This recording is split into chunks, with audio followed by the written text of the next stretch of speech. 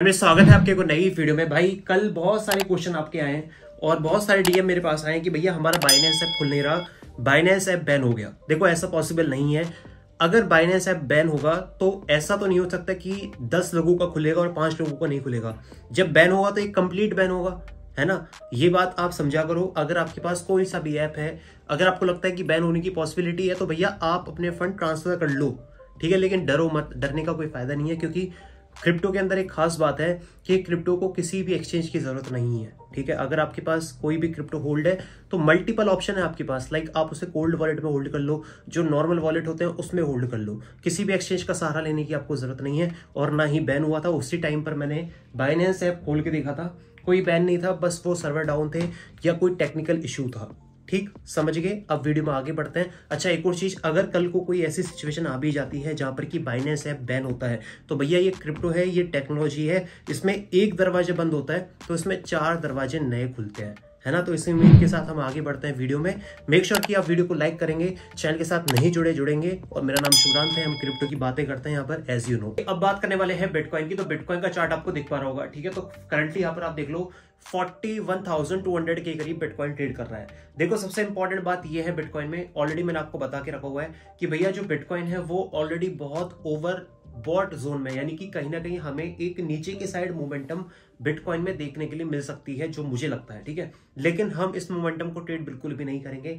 हमारे दो लेवल हैं, उन लेवल का हम इंतज़ार करेंगे। भाई, पहला जो लेवल है, वो हमारा है थर्टी एट थाउज़ेंड यानी कि अगर प्राइस अपना चालीस हज़ार लेवल के तोड़ता है तो थर्टी एट के करीब बहुत ईजिली आ सकता है। क्यों? क्योंकि चालीस हज़ार का जो लेवल है, वो बहुत साइकोलॉजिकल लेवल है। साइकोलॉजिकल यानी कि काफ़ी लोगों ने ऑर्डर्स लगा के रखे होंगे चालीस हज़ार के करीब।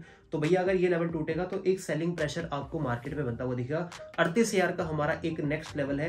अगर आप ट्रेड करना चाहते हो बिटकॉइन को तो मैं आपको एक तरीका बताता हूँ। देखिए फ़िलहाल forty one thousand two hundred के करीब है। एक बार इसको thirty seven thousand five hundred से लेके अड़तीस हज़ार तक ये थर्टी एट थाउज़ेंड तक आने दो ठीक है? जैसे ही आता है यहाँ पर कोई आपको एक हैमर जैसी कैंडल दिखती है तो भैया हम यहाँ से सीधा लॉन्ग करेंगे स्कैल्पिंग करके 15-20 मिनट में अपने पैसे कमा लेंगे ठीक? अगर आपको मैं एक ऐसा एरिया बताऊँ जहाँ पर कि आपको बिटकॉइन एक्लोमेट करना चाहिए तो भाई वो बैठता है अब 28,000 का लेवल अभी 41,000 है 28,000 लेवल मुझे पता है कि नीचे है लेकिन ये एक ऐसा लेवल है कि यहाँ तक भी बिटकॉइन शायद इन फ्यूचर अगर आ जाए तो घबराना मत यहाँ पर आपको एक्लोमेट करना चाहिए। क्यों? क्योंकि हमने हमेशा देखा है कि हालविंग के पहले है ना जब भी हार्विंग होती है उससे पहले हमें एक क्रैश देखने के लिए मिलता है जो कि अच्छा खासा क्रैश होता है। अगर अट्ठाईस हज़ार तक वो क्रैश आया इस बार तो भाई ये सीधा जो क्रैश है वो हमारा होगा यहाँ पर 28 या 29 परसेंट का, जो कि एक अच्छा खासा क्रैश है।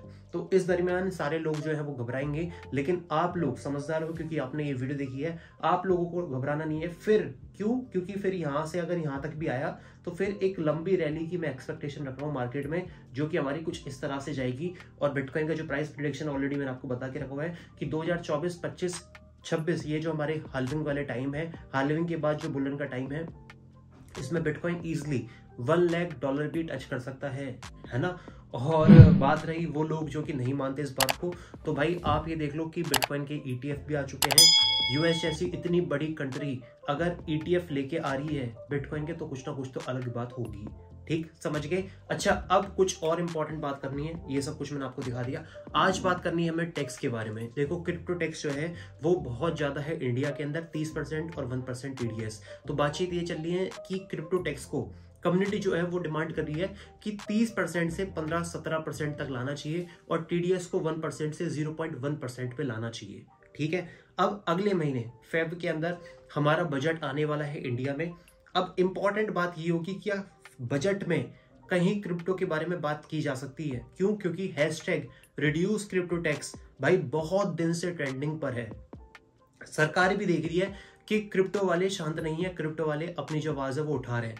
तो शायद इस बजट के अंदर। देखो, मैं शायद कह रहा हूँ, क्योंकि मुझे नहीं कंफर्म कि होगी बात, नहीं होगी, लेकिन अगर बात हो गई क्रिप्टो टैक्स कम करने की तो भाई ये हमारी हो जाएगी बल्ले बल्ले फिर हमारी जितनी भी प्रॉब्लम हो रही है ना भी कि भैया ये बाइनेंस ऐप बंद हो गया, या फॉरेन एक्सचेंज ये हो गया, वो हो गया, ये सारी प्रॉब्लम हमारी हो जानी है सॉल्व और फिर मार्केट में आपको इंडिया की तरफ़ से बहुत इंटरेस्ट दिखेगा क्रिप्टो में। क्यों? क्योंकि टैक्स अगर कम हो गया तो भैया वो तो बल्ले बल्ले है। लेकिन अभी ये कंफर्म नहीं है कि बजट में बातचीत होगी या नहीं होगी। होती है तो भाई बहुत अच्छी बात होने वाली है।